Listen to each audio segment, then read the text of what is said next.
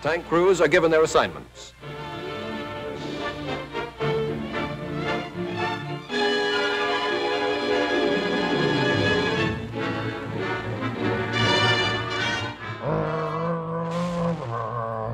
Load the main gun! Roger! Gonna hit him with the main gun! God damn, this is so cool. oh, well, hello there, everybody. Woo! You know, shit. so, oh, hey, everybody. You know, the Eastern Front gets most of the love in World War II tank battles, and that's not without good reason. The Western Front wasn't such a target rich environment like the Russia. like the Russia. Speaking of, have you heard of Lafayette G. Pool?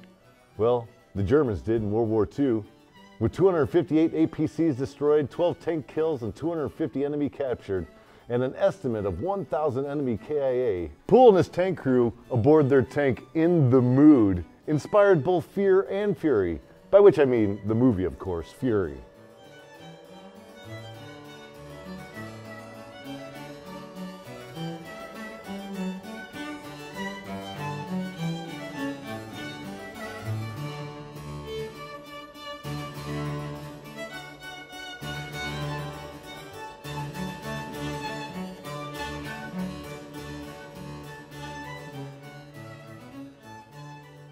Lafayette was born in Odem, Texas in 1919.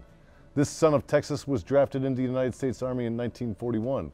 Even by the standards of the day, he was noted by his peers as being a very aggressive sergeant. Sounds like my kind of guy. And he wasn't about to let himself be put behind a desk. So when he was offered a commission, he politely declined preferring to stay in a combat role. So he was promoted to staff sergeant and deployed to Europe. He landed with his unit in Normandy in June of 1944 as a tank commander of an M4 Sherman. Pool would have two tanks destroyed under his command, once by Panzerfaust and another in a tank-to-tank -tank duel. But this tough-as-nails son of a gun just got another Sherman, painted in the mood on the side of it, and kept pushing on. In his very first engagement, his tank, in the mood, was responsible for the destruction of over 70 German soldiers and three armored vehicles, no less. He quickly became known as the Texas Tanker. On one occasion, Night had overtaken the tank platoon. Sergeant Pool was about to call it a day. As he opened his mouth to order, driver halt, the shape of a 40 millimeter dual purpose AA gun emplacement materialized less than 50 feet from their position. He shouted with no warning, Gunner, Fire! His gunner instantly responded, putting a round directly through the enemy gun. That's hedgerow combat for you. Turn a corner and there could be anything waiting for you. I think you veterans of Afghanistan can appreciate the suckfest I'm describing. in another encounter, in the late afternoon some days later, Pool's platoon was skirting south of the town Colombières, France. France. France when a German Panther rolled directly in front of the lead tank. It quickly got off two rounds, but the nervous enemy gunner missed both times. Before a third projectile could fly from the long, deadly looking 75 millimeter barrel, Pool's gun barked and ripped the Panther turret from the hull.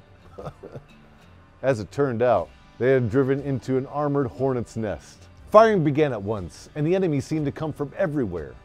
Colonel Richardson, commander of the 32nd Regiment, could hear the orders and the swearing from the crews as they frantically tried to adjust to the unforeseen encounter. By dark, it was all over. Pool and In the Mood had taken out two enemy tanks and at least two armored cars. Pool was twice recommended for the Congressional Medal of Honor. But an infantry mentality Army recommendation board decided that since tanks were crew served weapons, he did not deserve the medal.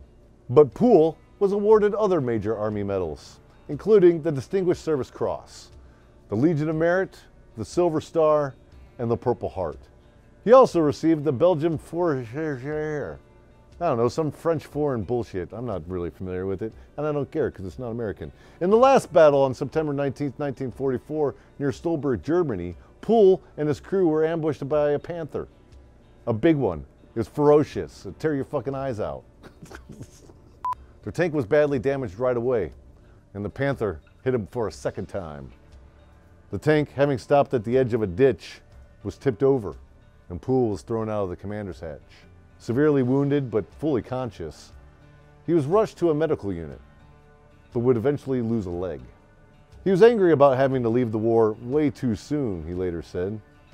And he told Stars and Stripes reporter, I was just getting started. Given a prosthesis, he returned to active duty in 1948 and served until 1960, retiring as a Chief Warrant Officer, second class. He died in 1991, aged at 71, and is buried at Fort Sam Houston National Cemetery in San Antonio, Texas.